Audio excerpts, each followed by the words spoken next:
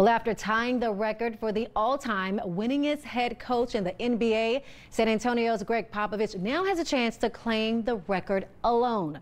The Spurs play the Toronto Raptors at the Alamodome tonight, and a win would make Pop the all-time winningest coach in NBA history. Tip-off is at 7:30.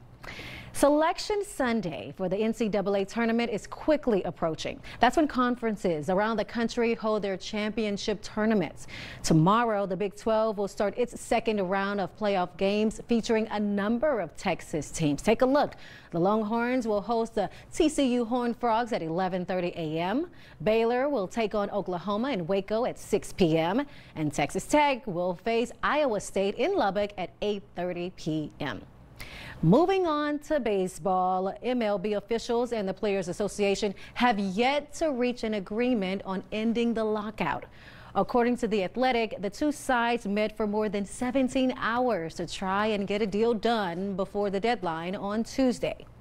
More regular season games will be canceled if a deal isn't reached soon.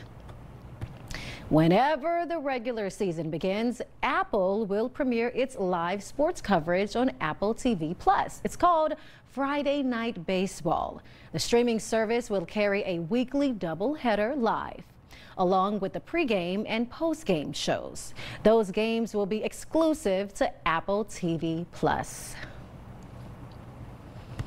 Schools were hit hard during the pandemic. Up next, we'll take a look at shortages that go well beyond